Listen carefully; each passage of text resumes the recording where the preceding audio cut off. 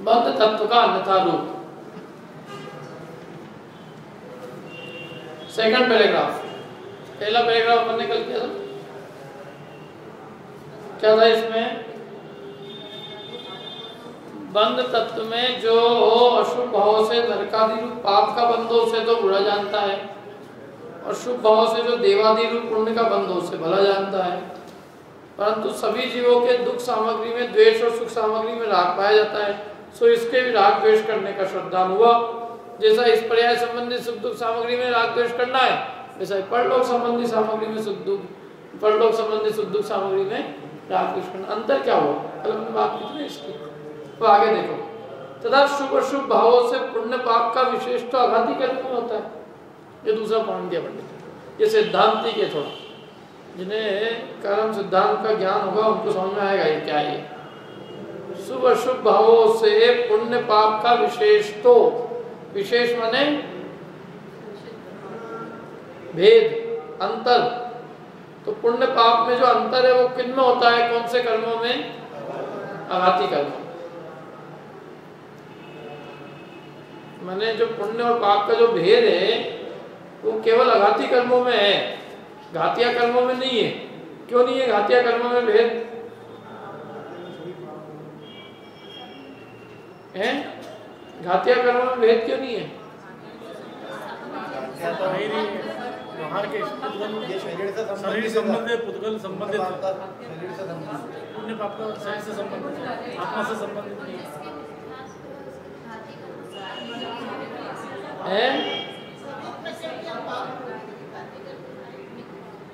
देखो घातिया कर्म किसे कहते हैं? जो आत्मा के गुणों का घात करे। अनुजीवी गुणों का ज्ञान का घात करे, दर्शन का, श्रद्धा का, चारित्र का, वीर का तो जो घात करेगा, वो अच्छा कैसे हो सकता है? घात करना तो बुरी है आत्मा के ज्ञान गुण का घात होगा तो ये अच्छा हो जाएगा। दर्शन का घात होगा तो। श्रद्धा विपरीत हो रही है, चारित्र विपरीत हो रही है। दान, लाभ, भोग भोग, वीर का घात होवे। घात करना तो कुछ भी अच्छा नहीं है। घात चाहे कम हो, चाहे ज़्यादा घात तो घात है। घात तो सब बुरे ही है, इसलिए घात तो सब पाप ही है। मैंने घातिया कर्म सब पाप रूप ही। घातिया में पुण्य पाप का कोई भेद ही नहीं है। जो पुण्य पाप का भेद है वो हाथिया में उनमें है कि ये शुभ आयु है, देव आयु, शुभ आयु है, नरक आयु। अशुभ आयु है। क्या एक इंद्रिय जाति जो है वो अशुभ है, पंचेंद्रिय जाति शुभ है? वज्र सनन अच्छा है। और असंप्राप्ति स्पर्टी का सैनन बुरा है। शुभ स्थिर यशस कीर्ति सुभग आदेश सुस्वर त्रस बादल पर्याप्त स्थिर ये सब कर्म अच्छे हैं। और स्थावर साधारण पर्याप्त सूक्ष्म, अस्थिर, अशुभ दुर्भग दुस्वर अनादे अयशस कीर्ति ये सब क्या है? बुरे हैं। अप्रशस्त व्यागति बुरा है। दुस्वर बुरा है। अयशस कीर्ति बुरी है। अनादे बुरा है। दुर्भग बुरा है। अस्थिर बुरा है। अशुभ बुरे नाम कर।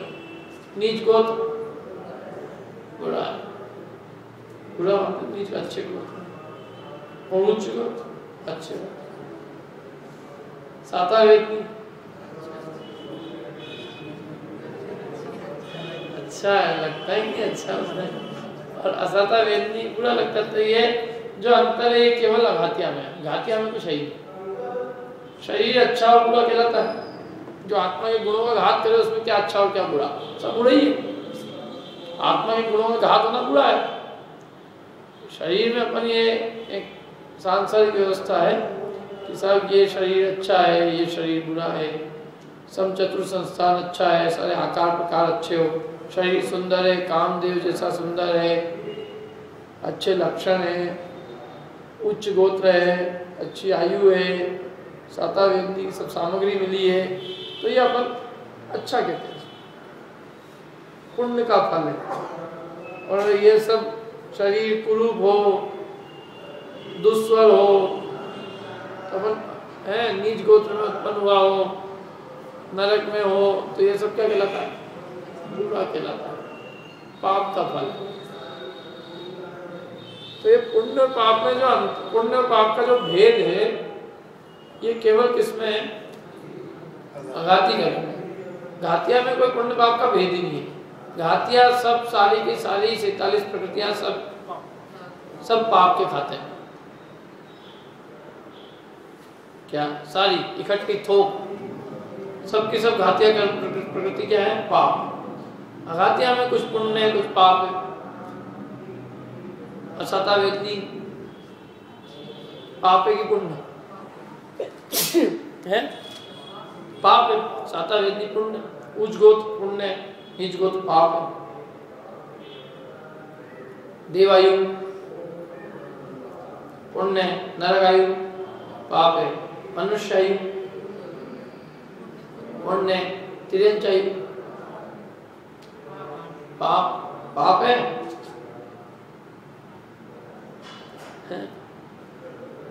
कितने लोग कह रहे चलो पाप? आप कोई नहीं हाथ कितने लोग कह रहे पुण्य? एक भी नहीं है। नियम से मतलब नहीं मरना नहीं चाहता। कभी मरना नहीं चाहता, कोई गति अशुभ है आयु शुभ है। मरना नहीं चाहता, जितनी आयु मिलती बहुत कोई भी तिरंच ऐसा नहीं है, केंद्र से पंचमी क्या बात चल रही कोई विशेष हो तो बता दो। क्योंकि वो मरना नहीं चाहता। जितनी आयु उसको अच्छी लगती है। ज़िंदगी अच्छी लगती है, प्यारी लगती है। जितनी ज़िंदगी के क्षण बीतते हैं, उतने अच्छे लगते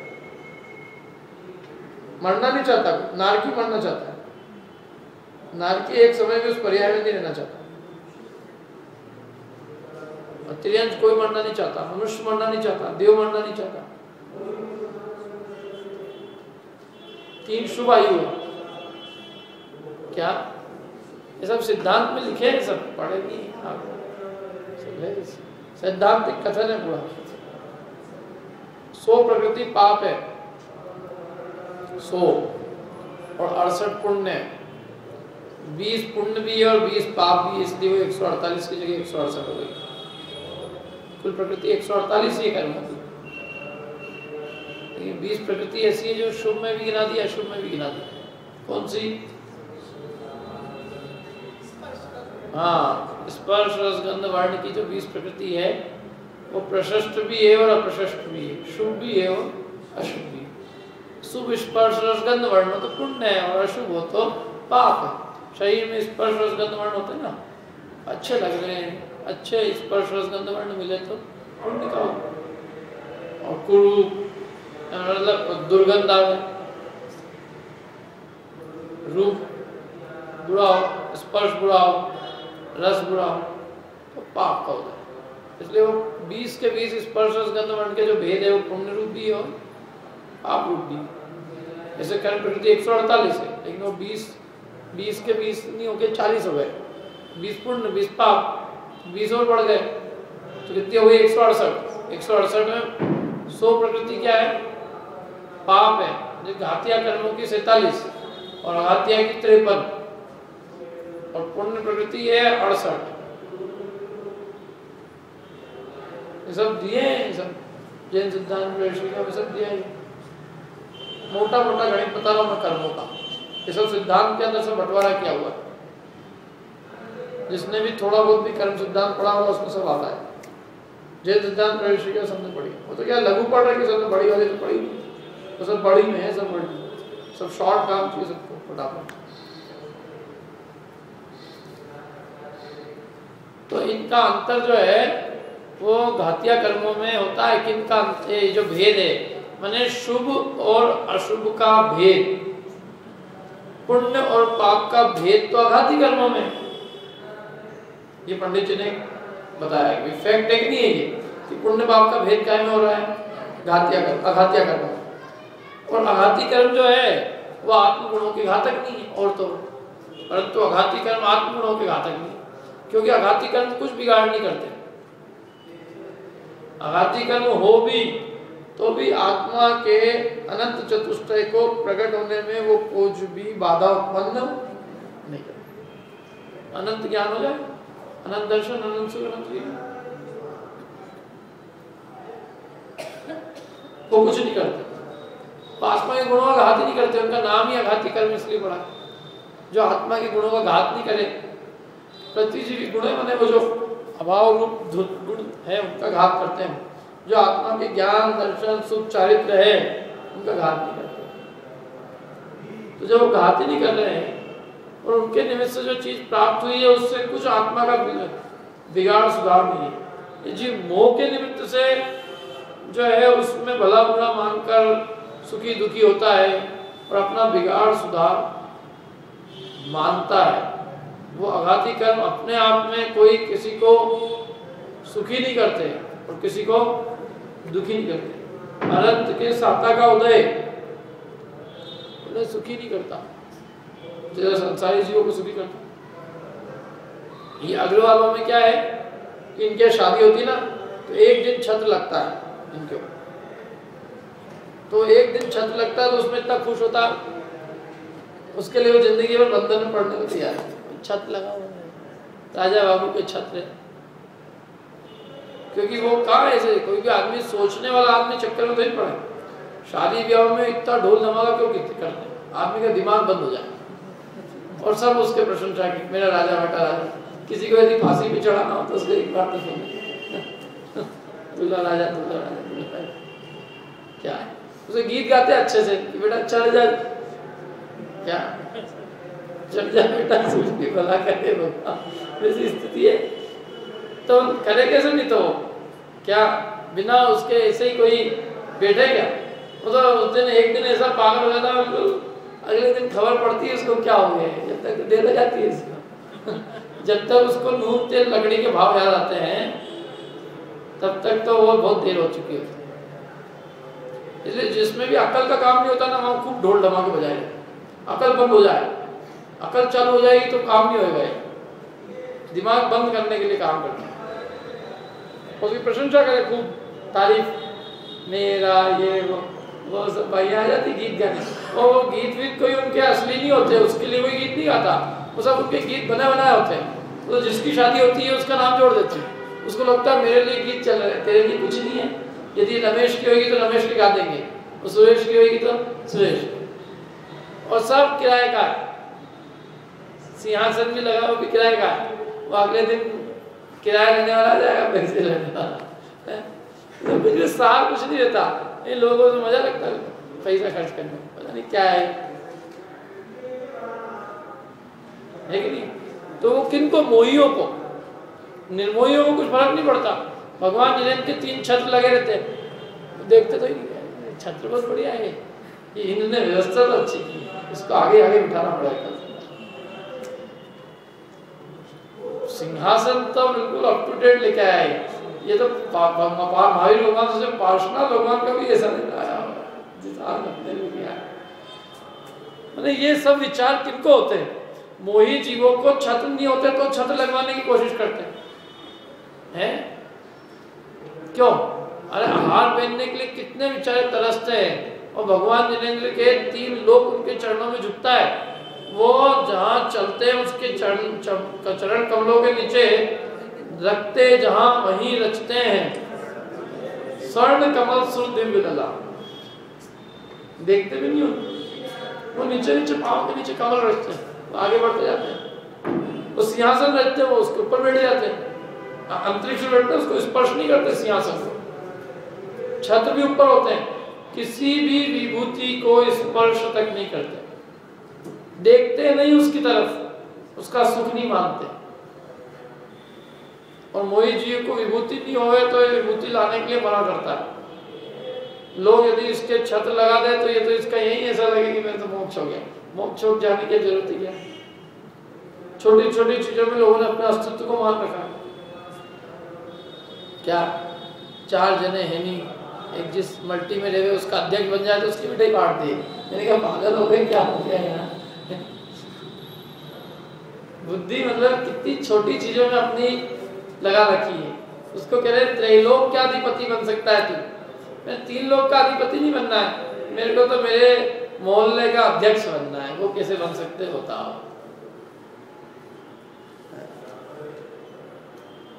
है कि नहीं है? तो ये क्यों है? ये सब आघाती कर्म की सामग्री मोही मतलब मोह के साथ होता है तो वो सुख दुख में निमित्त होती है। जिन्हें मोह नहीं होता उनके उत्कृष्ट जाति का पुण्य का उदय भी, तीर्थंकर नामकरण जैसी उत्कृष्ट पुण्य प्रकृति भी उन्हें साता का कारण नहीं होती। और यदि कोई उनकी निंदा भी करे तो भी उन्हें असाता का कारण भी नहीं होती। उन्हें कुछ फ़र्क नहीं पड़ता उससे। इसलिए आघाती कर्म तो जली हुई रस्सी के समान है कुछ दम ही नहीं। जो असली चीज़ है, वो घातिया कर्म क्या? मैंने जिसका जो जो आत्मा के गुणों का घात करने वाली चीज़ें, वो है घातिया। पूरा, पूरी ताकत उनको नष्ट करने में लगनी चाहिए क्योंकि वो नष्ट हो गए। तो बाकी के चार आघाती तो क्यों चले जाएँगे। अपने आप जाएँगे ही जाएँगे। उनके नाश करने के लिए क्या करना पड़ता है? कुछ भी नहीं करना पड़ता। वो अपने आप नष्ट होते क्या? अनंत भगवान क्या करते हैं? चार घातिया कर्मों का क्षय करने का पुरुषार्थ करते उन्हीं अवस्था में क्या किया था।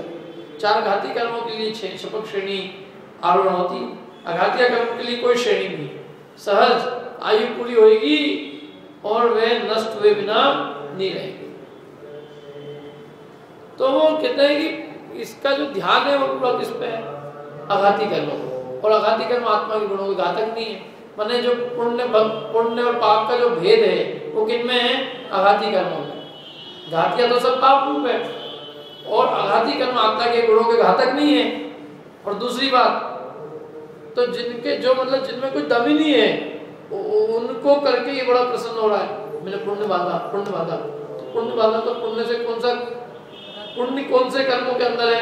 अघातिया में। और अघाती पुण्य बाँध भी लिया तो भी उससे कुछ फ़र्क नहीं पड़ा। क्यों? क्योंकि उससे वो आघाती कर्म न तो आत्मा के गुणों का घात करते हैं, न आत्मा के गुणों का उत्कर्ष प्रदान करते हैं। शरीर के अंदर उसका फल आएगा किसी को उच्च गोत्र भी मिल गया, लेकिन वो स्वयं मोह का नाश नहीं करे तो उच्च गोत्र क्या करेगा? मनुष्य आयु मिल गई, लेकिन वो खुद नहीं लगे। धर्म में तो मनुष्य आयु क्या करेगी? सब कुछ अनुकूलता है घर में, कोई तकलीफ़ नहीं है। लेकिन इसको, इसमें उपयोग नहीं लगाया तो क्या करेगा? मैंने आघाती कर्म ने तो उसको सब सामग्री दे दी। पाँच इंद्री मिल गई, जैन कुल मिल गया, सब मिल गया। कोई कमी है उसको? जितनी अनुकूलता अपने को आज है तत्व विचार करने की, धर्म करने की, ऐसी अनंत काल में मिलना दुर्लभ है। लेकिन फिर भी जो जीव नहीं करे तो अब और क्या उसको पुण्य बांधना बचा है कि जिससे वो कहे कि साहब, अब मेरे को इससे मेरे को क्या होगा? आत्मा के गुणों का उत्थान क्या? अब और क्या चाहिए उसको? उच्च बोध साता वेदनी पंचेंद्री गति में देखो, मनुष्य गति है। जाति में पंचेंद्री है। शरीर औदारिक औदारिक तेजस का शरीर है। संस्थान है कोई ऐसा बुरा नहीं है। क्या कुछ तो भी हो।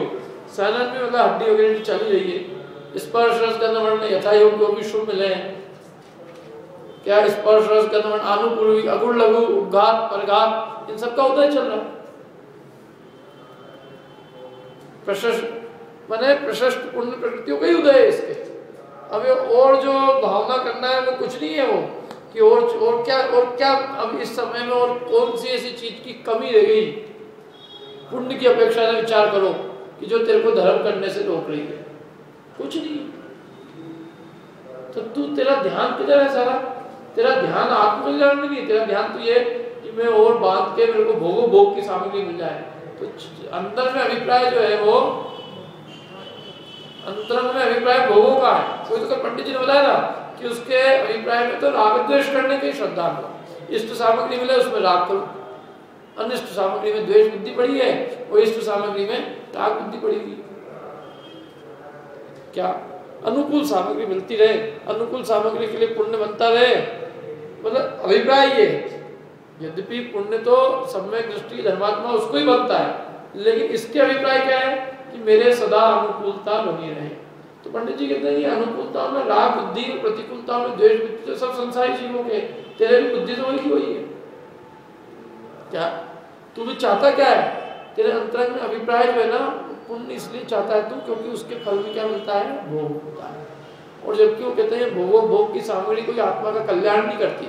और भोगो भोग का नहीं मिलना, कोई आत्मा का घात नहीं करती। आत्मा का घात करने वाले सिर्फ़ चार घातिया कर्म। यदि ज्ञान की घात होता है दर्शन का घात होता है, श्रद्धा और चारित्र विपरीत होती है तो घात है। अन्यथा कोई घात नहीं।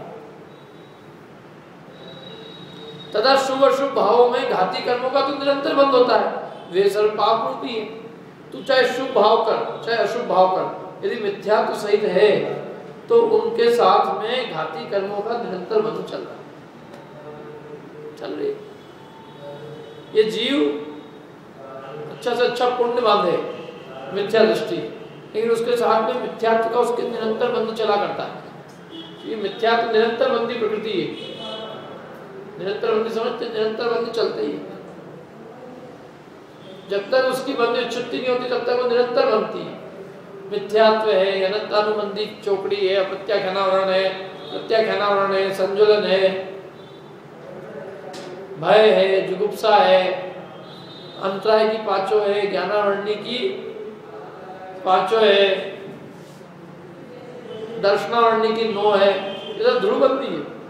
घातिया कर्मों में कितनी प्रकृतियाँ ध्रुवबंदी वन जो निरंतर बनती मिथ्या दृष्टि को, चाहे कुछ भी करे। सम्यक्त के एक समय पहले तक वो बंदेगी यद्यपि उसमें स्थिति अनुभाव कम पड़ जाएगा। बनती रहेगी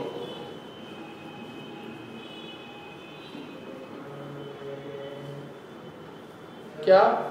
ऐसी कितनी प्रकृति है? जो ध्रुवबंदी, निरंतर बनती मिथ्या दृष्टि को चाहे वो कोई भी अवस्था में हो। सैतालीस प्रकृतियाँ ना घातिया कर्मों की कितनी है? सैतालीस। सैतालीस में ध्रुवबंदी कितनी है? देखो, पाँचों ज्ञानावरण की ध्रुवबंदी है। मिथ्या की अवस्था में सतत उसका बंध चला करता है। नौ की नौ दर्शनावरणी की ध्रुवबंदी है, सतत बंध चला करता है। अंतराय की पाँचों ध्रुवबंदी है, सतत बंध चला करता है। अब बचा मोहनी मोहनी में एक ही बंद होता है। सम्यक मिथ्या सम्यक प्रकृति बंध के अयोग्य, उनका बंद नहीं होता। वो तो मिथ्यात्व के तीन टुकड़े होते तो उनकी सत्ता बनती है। नहीं तो वो उनका बंद नहीं होता अलग से। बंधती नहीं सम्यक परिणाम जब होते हैं, सम्यक दर्शन जब जीव प्रकट करता है तो मिथ्यात्व के अंदर विस्फोट होता है। और मिथ्यात्व के तीन टुकड़े हो जाते हैं।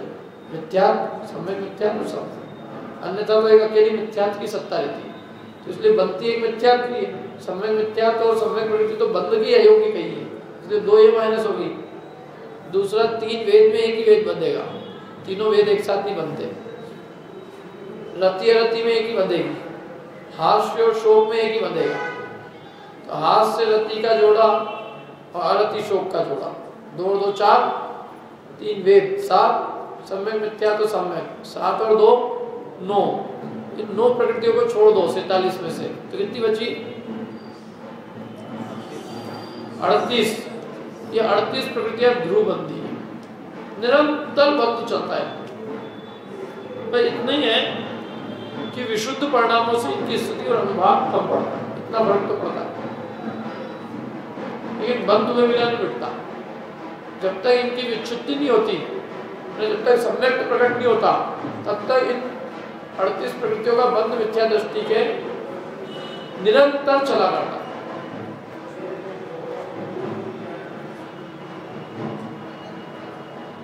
पंडित जी ये जो ध्यान दिलाना चाहते हैं कि तुम्हारा इस पे ध्यान नहीं है अड़तीस पे।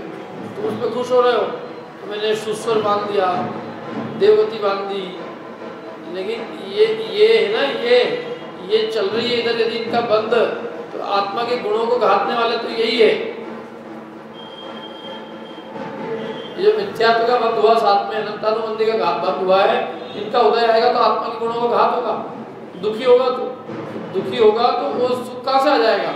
अरे कुछ, आज भी ऐसे कितने लोग हैं जिनको आघाती कर्मों में अच्छी पुण्य प्रकृति का उदय है, लेकिन मोह तीव्र है, दुखी है। कषाय तीव्र दुखी है। कोई पुण्य का उदय उन्हें सुखी तो ही नहीं कर देता।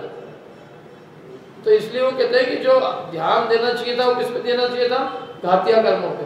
तो इसका ध्यान किस पे जा रहा है? अघाती कर्म और अघाती कर्म की पुण्य प्रकृति बांधने में संतुष्ट हो रहा है। और घातिया कर्मों के नाश की चिंता इसको नहीं और आत्मा के गुणों का घात करने वाले कौन है? घातिया कर्म।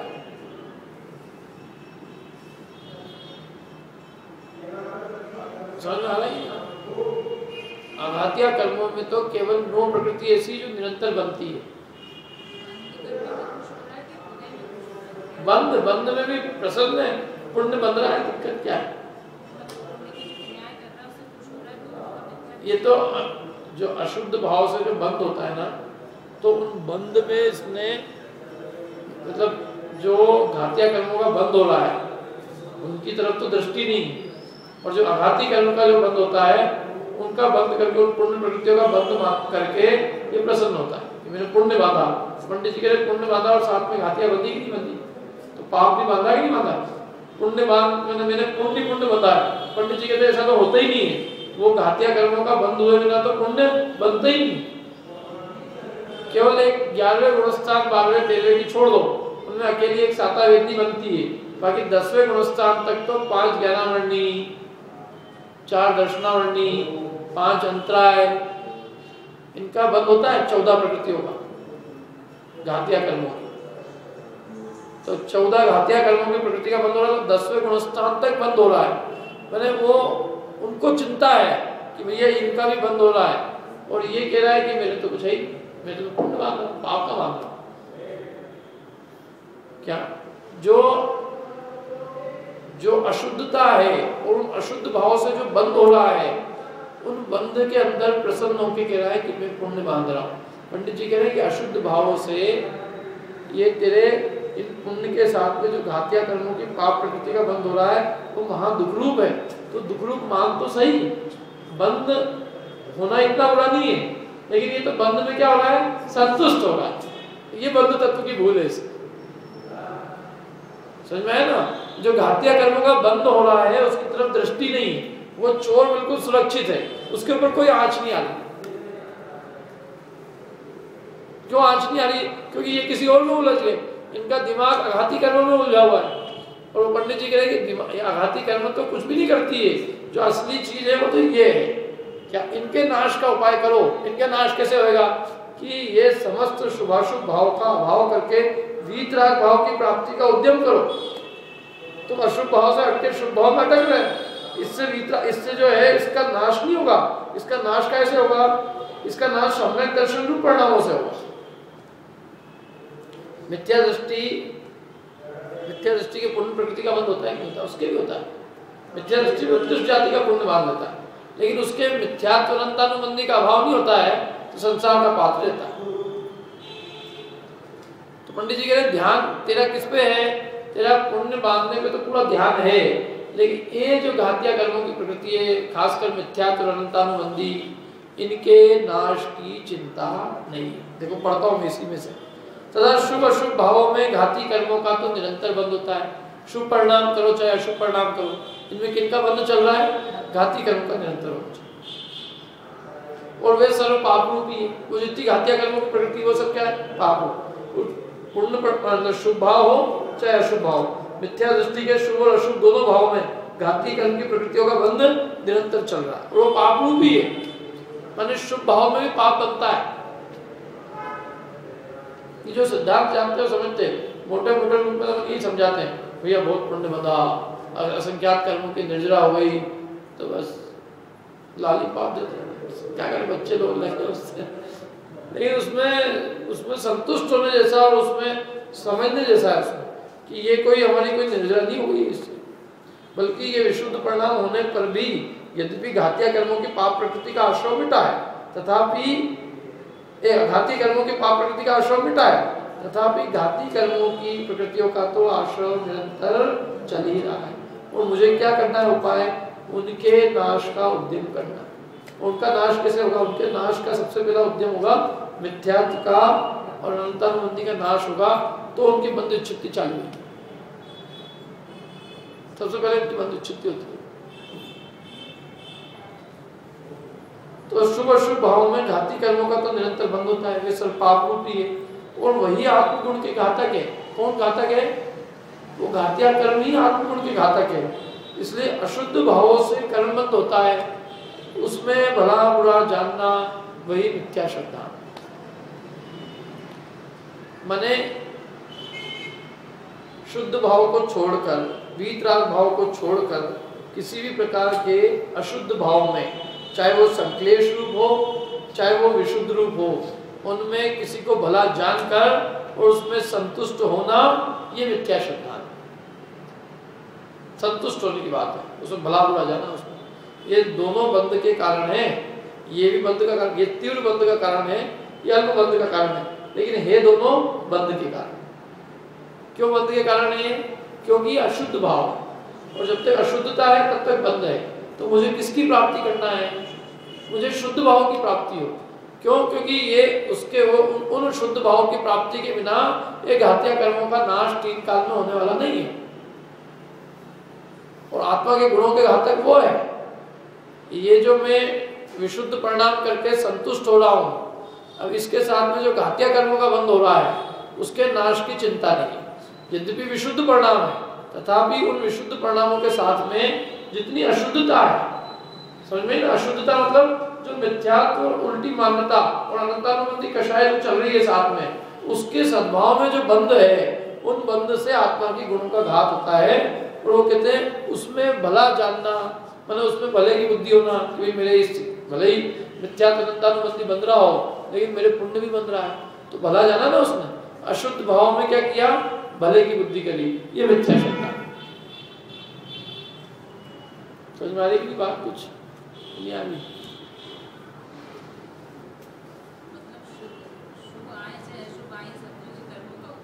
कर्म का नहीं कर्म का बंधन हो रहा है।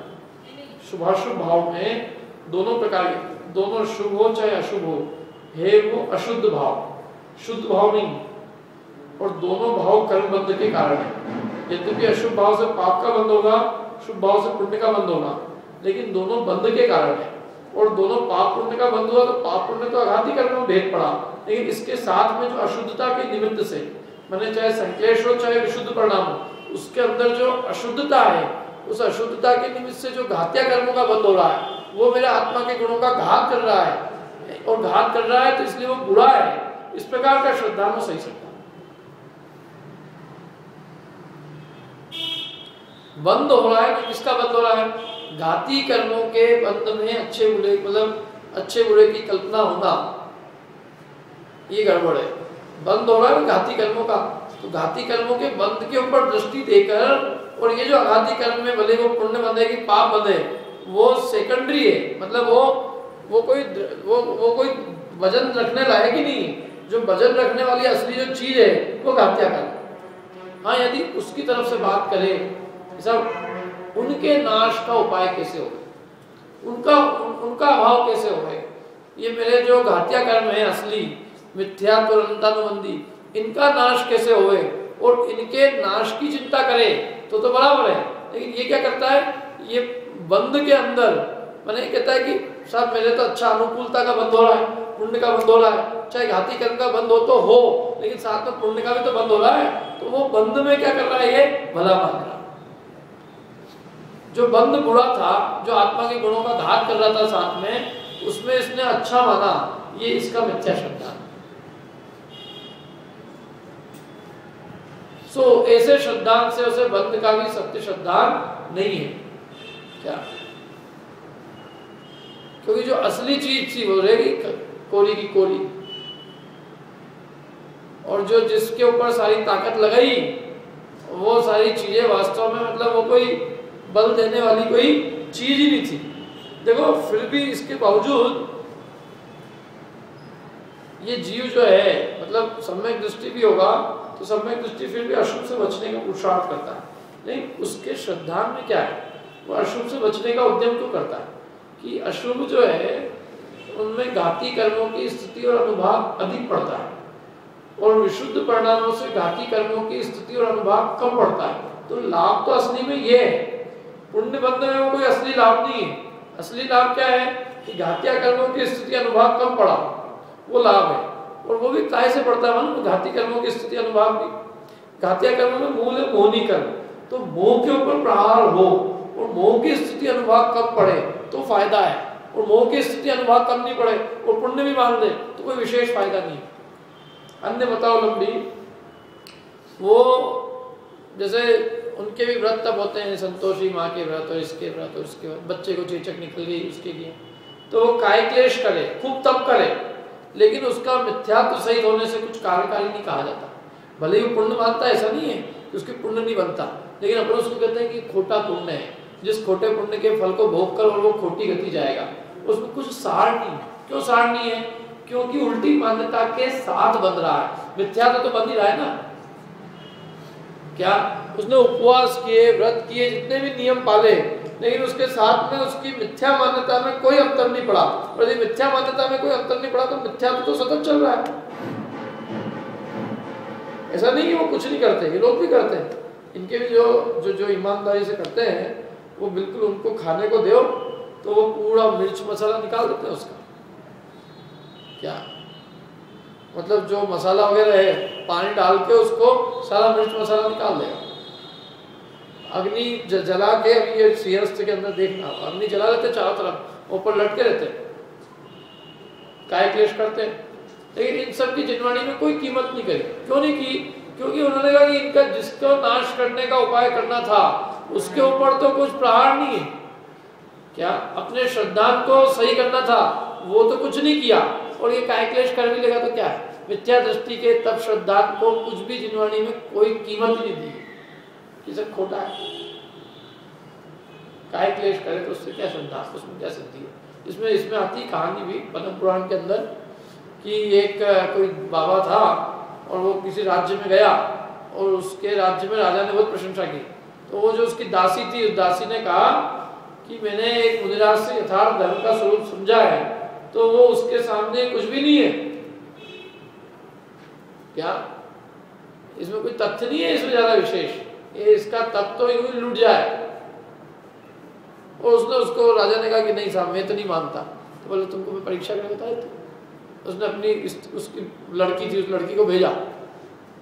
लड़की गई और वो लड़की गई तो वो लड़की के ऊपर मोहित हो गया। वो उस तो लड़के ने कहा कि भाई मेरे घर चलना पड़ेगा मेरी माँ से मांगना पड़ेगा। तो उसके घर आ गया। तो माँ ने उससे कहा कि तुम यूँ हो? ऐसे लेटे रहो आधे घंटे तक कुछ मत करना। उसको पूरा भाग दिया और बाँध के राजा को बुलाया। राजा को दिखाया कि इनकी ये दशा है, इसमें कोई विशेष तथ्य नहीं है। और वो नहीं भी करता होता। चलो वो तो उसमें मोहित हुआ।